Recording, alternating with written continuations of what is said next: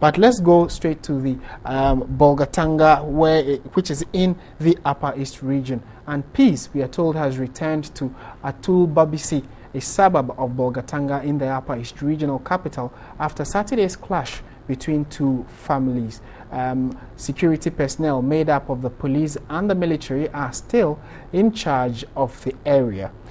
Residents who fled from Saturday's clash have now returned home with economic activities also picking up gradually. Two out of the seven people who were admitted at the Bolgatanga Regional Hospital have been discharged and the other five uh, and other five people are currently receiving treatment and will soon be discharged.